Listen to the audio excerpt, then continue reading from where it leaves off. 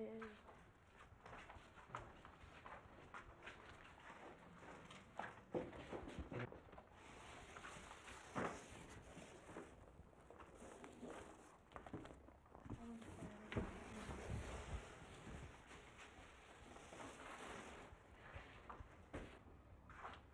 I'm so deaf. I like that one. Shit is bad. Oh, all right. and this one's called Sands of Sands of York. It's um, so letter B. And um, this this was actually um, there's a there's a painting under this that that I went over that I did in 1980. I didn't actually like it. It was called I Love New York. But I decided to paint this over it. I like it much better now. Oh, you painted over a previous one? Yeah, that I did in 1980, when um when we were working at a c- up at Columbus, Columbus Street in 106. What it expresses? Um, it, it expresses anguish actually. Over Yeah. the buff and the war, both? Or just the war? Well, just the war. The bloody war. the bloody red war.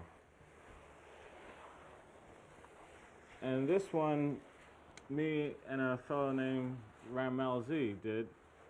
Um, this one is the, the armored letter E. And um, he sort of has his own beliefs about that. And um, why he arms arms um, letters.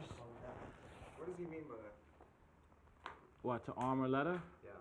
Um, just so it could um defend itself, actually, because um he says um the Christians put a Catholic symbol on the on the letter, and the only way to destroy a symbol is with a symbol. So um in order to destroy a symbol, you have to arm a symbol, and he thinks by arming um letters that um this um this Christian symbol will be destroyed.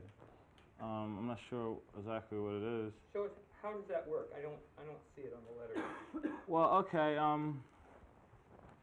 Well, actually, this, uh, this, this right here, this is arrow, um, which is actually fires, and this is like um, some type of like maybe machine gun you would have that actually shoots um, rays, and this thing is also like a machine gun, and this piece right here, this is like this like gauge or hinge, and this thing is supposed to actually do a full 360, so it could even like defend itself from behind or side, or that whatever. If it was if it was actual, you know, if it was real, this would be a this would be a weapon. This would be a tank actually, as as he would put it, and this this particular letter would be able to um defend itself. What are you gonna show us? This is my two-faced can canvas. It's boiling up in water. It's like the image of the other can is locked up. Cause then um, this night there was no speaking for it. Daryl, walk in and show us something. Yeah, Show us outline the things about can, it. outline the outline of the can with your finger, with your hand. The can is right here. This is the can. This is the king can. Right? Then this uh, the other can is locked up. It's supposed to be like water. It's locked up. It's boiling up with all kinds of different designs. Going up in circles like What do you mean a a king? twirl. A king can, what is that? King can. There was like there was there people first, and there's like the newcomers. I mean, that's the king of cans. Nah, there's like the king, right? The the old writers before, like me. I didn't I didn't came way before Blade. Blade came before me. A lot of people leave came before me. A lot of people came before me, right? So